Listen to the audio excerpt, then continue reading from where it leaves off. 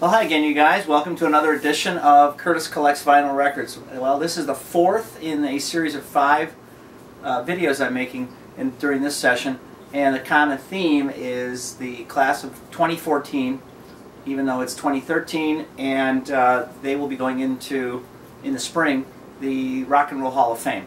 So, uh, it's time to talk about KISS. So, uh, I, I, have to admit, um, I like KISS. I don't have to admit that, but I have to admit I don't have a lot of their records. That, that was what I'm trying to say. But I think I got enough here to, for any KISS fan to, to appreciate.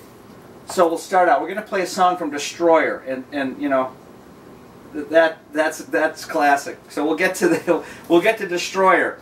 I'm a huge fan, as many of you know, of the, double live album format. And I surveyed my online record collector group, and I got to say, after um, Rory Gallagher Irish Tour 74, this was the second most mentioned double live album in terms of, uh, we, we asked everybody what was in their top five in that category. Double live vinyl record. This is the second most commented or selected record. Kiss Alive, unbelievable. I'm so glad I have it. It's pretty trashed. We've got it taped up at the bottom. Here are some of their other records. Maybe I should have these. Man, unbelievable. Look at these guys. I mean, I, th there's a whole story right here. I wonder if those, you know, I'm sure those guys knew, you know, saw their face on this record one day. This is uh, this is their double live, double platinum greatest hits record. It's going to be hard to see with the reflection, of course. Double platinum. I'm going to try to angle this down.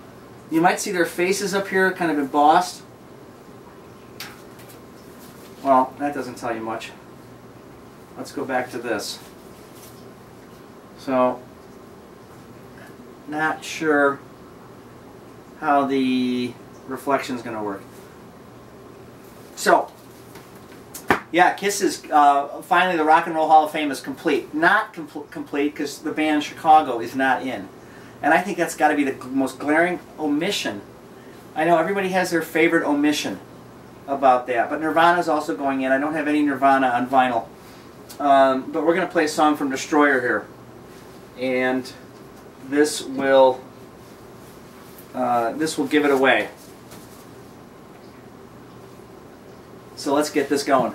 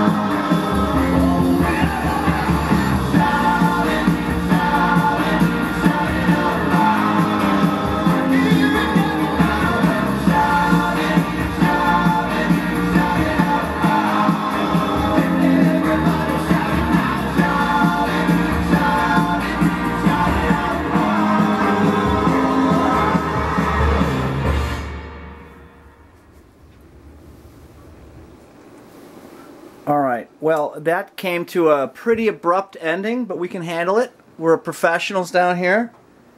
I thought there was a little bit more of an outro, and that's okay. So, again, we handled it. A DJ, I am not. But that's okay. Hey, what the heck?